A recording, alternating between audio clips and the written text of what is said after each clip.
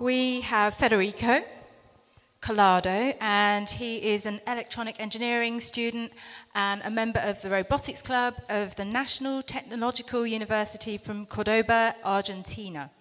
He's also student representative of the Preparatory Committee of UNISEC Argentina, and he's going to be talking about an open academic space development program proposal.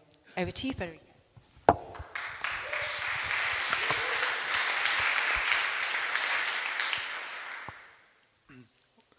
Well, uh, good evening. Uh, it sounds good. Yeah. Okay. So, uh, as uh, Anita told, my name is Federico Collado, and I'm from Cordoba, Argentina, and I am a member of the Robotics Club and a member of UNISEC Argentina. So, uh, to introduce you, I will uh, talk uh, a little about the Argentine space program.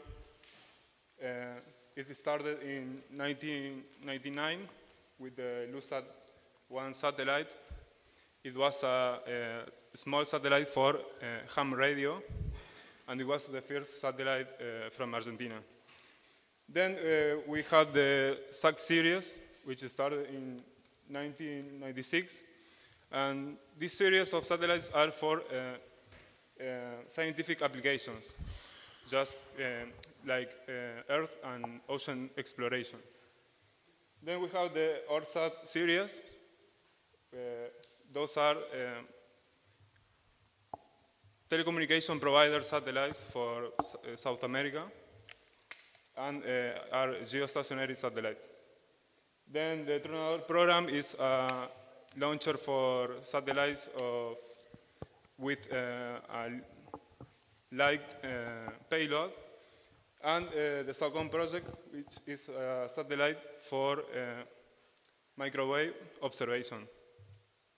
So I told you this because we can see that Argentina is a space developed uh, country.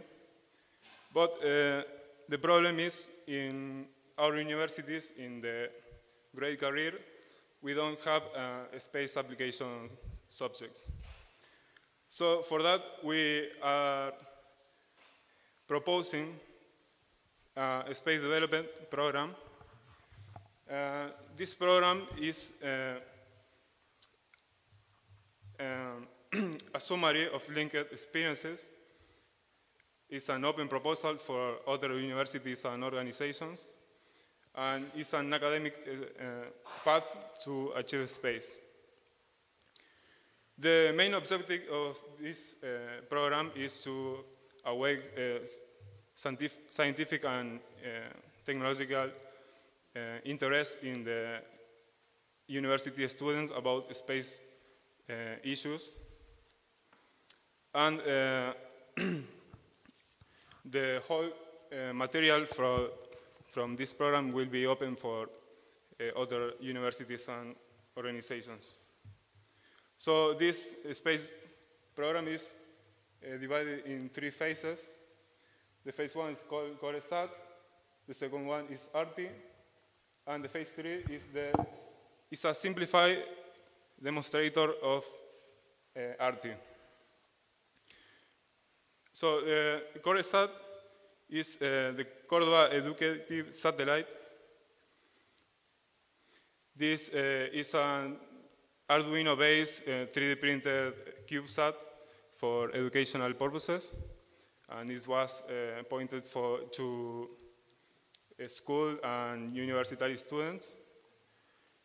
Uh, the idea of this project was to teach about the system and subsystem of CubeSats and uh, it gives the students the opportunity to teach, to test each subsystem and to design a, a small mission.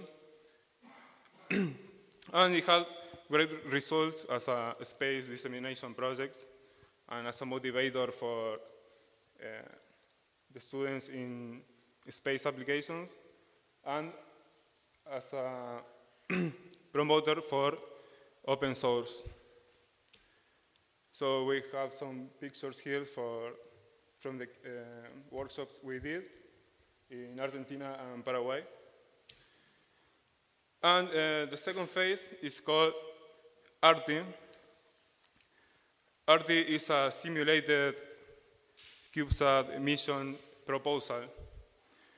Uh, this mission is, will be taken in a digital environment, and uh, it means early, early warning and response against bush fire. So, uh, why ARTI?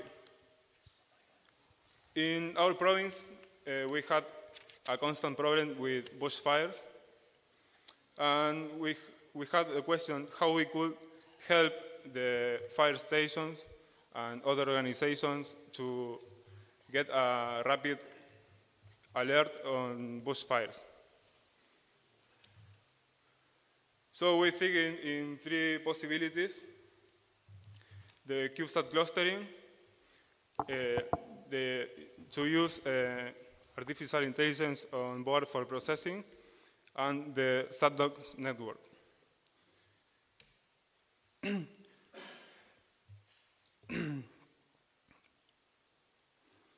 this uh, phase covers the design, development, testing, operation, and fulfillment and evaluation of the mission using uh, open mission analysis tools and uh, hardware in the loop and software in the loop for the simulations. So the first steps we will take to develop this mission is the incorporation of the SatNOGS ground station in our university to provide us uh, telecommunications capabilities, to use it as a hardware in, in the loop element, and uh, satellite services provider for the university. And, and the second step is the research and exploration of the MODIS instrument of the Terra and Aqua satellites and uh, the VIIRS instrument of the SNPP satellite and uh, the creation of a research group for uh, artificial intelligence for uh, image uh, pre-processing on board. And the last phase is, the, is a simplified technological demonstrator for the ARTI mission. this uh, simplified demonstrator uh, aims to test the, the ARTI simplified uh, CubeSat using only the, the onboard computer, the payload, to uh, pre-process the data and, and uh, to alert. And a simplified ground system uh, using the SatNOGS network for the full data processing and the identification. So to achieve this uh, goal, we um,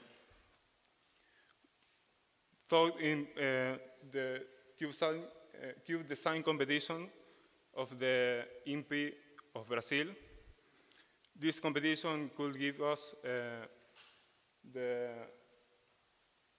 mechanical uh, and engineering model of the CubeSat.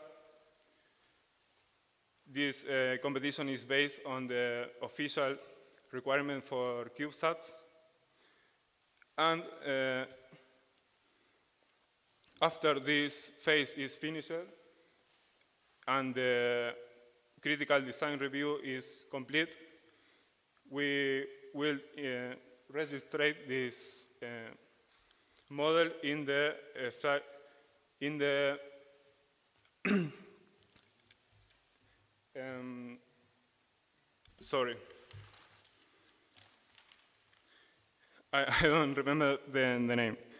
Uh, it's a national registry of objects launched of the uh, Argentine Space Agency. And if we succeed, succeed, the next step is the launch. So this is uh, just a proposal. We are just beginning. We uh, recently finished the, the first phase of this program. And well, we want to thank the National Technological University, the Libre Space Foundation, and the organization of this event. and thank you. If you have any questions.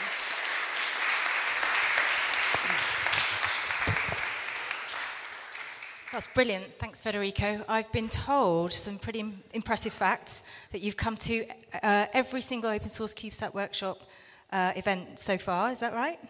And um, you've even got ministerial support, so that's fantastic. And it sounds like you're doing a lot to move the capabilities in the country forward.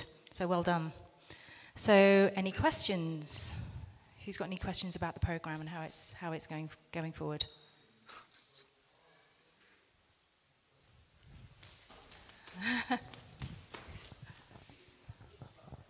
So I'm wondering uh, how until now you have uh, how uh, what you are doing until now with the SatNOGS data, and uh, I think that you have a station, right, on uh, on the university. Well, uh, that's one of the problems uh, we want. Uh, that's one of the reasons we started with this uh, program, because we have difficult to uh, install a SatNOGS antenna in our university. It takes a long time for permissions and to get the money. I have passed the same situation, so I know I know pretty well what uh, it takes to install in a university a, Sat- a, Sat- a SatNOGS station. I, I don't hear. So I have passed the, the exact same situation with you. I have to install the, I have to install uh, my station on the university. So uh, bureaucracy and uh, stuff like that is very very very hard to, to, Yes, yes, yes, to uh, deal with. So until now, have you managed to gather data and uh, analyze them or use for your research? Sorry, uh, just hear it, but Okay, so have you managed to grab data from uh, your SatNOGS station and uh, analyze them or use for uh, use them for your research? Yes, uh, well, as, And- as I told how? you, this, this is a proposal. We are in, just in the first step, and we have a, a lot of work to do. I, I, I don't know, um, pretty sure how we, we will implement that. Okay. But uh, uh, the first mail here is the manager of our project. He will uh, give you more details if you, if you want. Hi.